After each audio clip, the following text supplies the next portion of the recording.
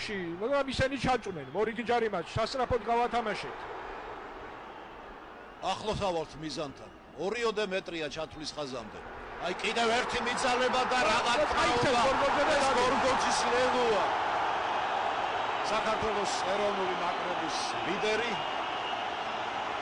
მამუკა გორგოძე საფრანგეთის ტოპ 14-ის მომპელიესა და ჩვენი ნაკრების თავდამსხმელი დღეს ფურთიანად შევიდა თამაშის 24 წუთზე რუსეთის ნაკრების ჩათვლის მოედანზე ნახეთ რა მშვენიერი ხედით თავაზობენ განმეორებით ამ ეპიზოდს.